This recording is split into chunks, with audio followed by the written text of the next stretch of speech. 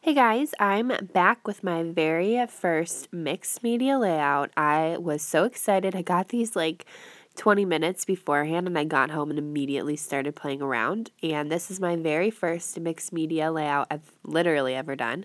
Um, I'm using the packaging technique, so I'm taking a little bit of the watercolor and putting it on the packaging and then just sticking it on the paper. You know, you really can't get much easier than that. And I will say, I really, really, really like these watercolors. They came up very pigmented, even when drying. They pretty much were true to color, which is pretty exciting, I think. Of course, you can make it lighter. I'll have to figure out how to do that, I guess, besides mixing in white, which I ended up doing with the pink. But I was looking to do orange, pink, and yellow, but the yellow actually ended up being way too bright, so I ended up going over with it with that like brown color you see in the watercolors. Um, but in any case, I really like the watercolors, but the water brush that I bought was a Recollections brand, and man, it already started like fraying. The brush is not an easy, if you want to do like scripting letters or anything with it, I'm not sure you'd be able to anymore, and I literally just bought it.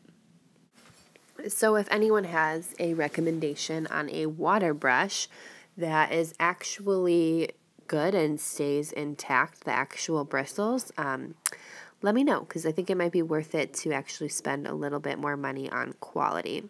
Um, and the last thing I just did was spray, like splatter some black paint down on over the page. So then I am taking all of my um, papers from the Studio Calico kit that I just got this month. And the photos that I'm using are from Venice Beach when I used to live there in 2013. Well, I actually lived in um, LA. My family came to visit me and we did, you know, some touristy stuff. We went to Venice Beach and then walked to the Venice Canal which is so pretty. If I could have a house on the Venice Canal, that would literally be goals. Um, but in any case, I am going to cut almost every single paper that came in the kit, and this was quite hard for me because I was like, oh my gosh, like I'm cutting all of this paper, and none of these are going to be 12 by 12 anymore. But you know what? You just got to do what you got to do. I wanted to make a almost like stacked ribbon esque feel on the page. So I needed to use a lot of different papers, and of course, all of these papers went together really well. So almost wanted to use a little snippet of every single paper. So here I am cutting them all. I won't make you watch me cut every single one, so maybe I'll stop here. Okay, so now I have cut all of my scraps that I want to use, which is right here. Um, a nice collection of orange, pink, and yellow. So now I'm just going to try and arrange them in the stack that I think that they will look best in. I'm going to cut them down a little bit and also make the edges look like, you know, that ribbon little triangle cut out the end of them, but I wanted to just take a look, stack them, make sure that, you know, the thicker pieces aren't by the thinner pieces just so I can, you know, mix it up a little bit and none of the patterns, I didn't want any of them to be too similar next to each other. So, really, just trying to figure that out. And then on top of that, cutting them so they look kind of like a ribbon.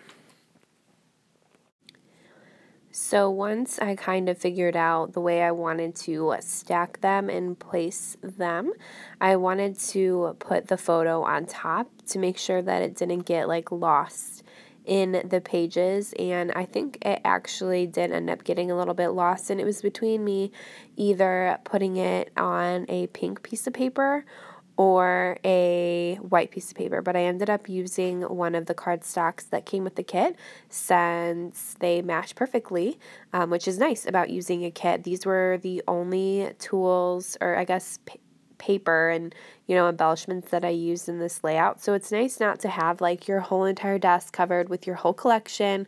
You know, you just choose the things that you have, which I think is very useful when you just want to get things done. I mean, this is from 2013.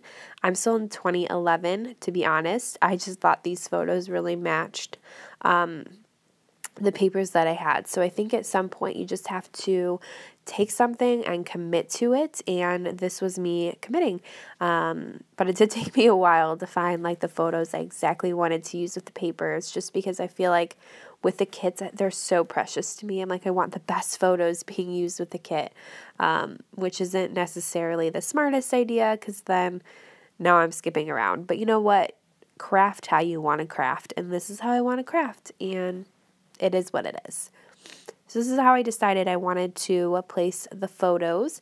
And like I was saying before, I did think that they got a little bit lost.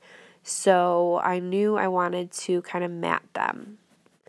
So what I'll end up doing is matting these, taking ink and going against all of the edges of that to make it kind of stand out because it's black. I added the Be Your Own Kind of Beautiful sticker and then I am stamping with some of the stamps that came in the kit. And unfortunately, um, a lot of my embellishing, for whatever reason, got cut off. I have no idea why.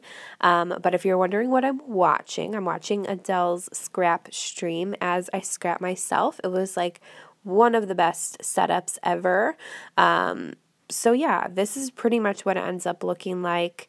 I use everything from the Studio Calico kit from April.